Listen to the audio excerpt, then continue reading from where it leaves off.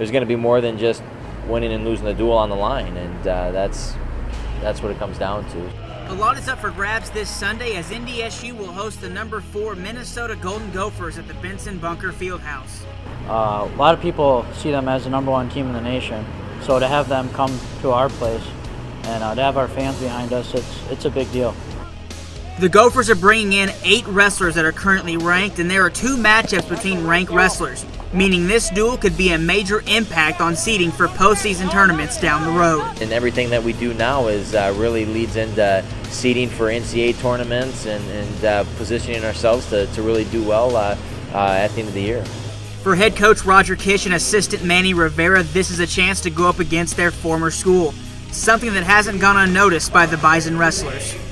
I'd rather win because they're the, I mean, they're the number one team in the nation. But yeah, Kish and Manny are from there, so that'd be pretty cool. Heading into the matchup, the Bison are on a seven-duel winning streak. But in this match, they are looking for more than just a win.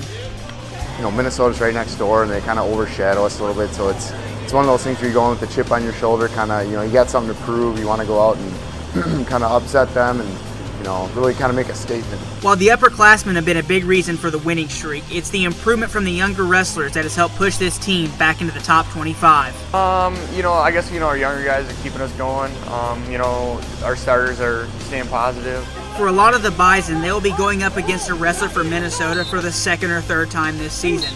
And each Bison is preparing in their own way. Continue doing what I'm doing, you know, not changing the game plan, just keep rolling you gotta you gotta try to bring something new to the table, uh, try to switch it up, and you know you gotta find a way to win. For seniors like Juleson, this will be their last duel at home, and picking up a victory against Minnesota would be a perfect way to go out.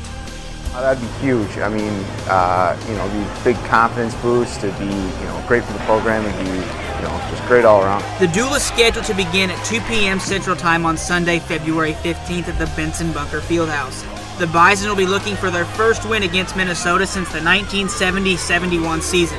For GoBison.com, I'm Brett Rory.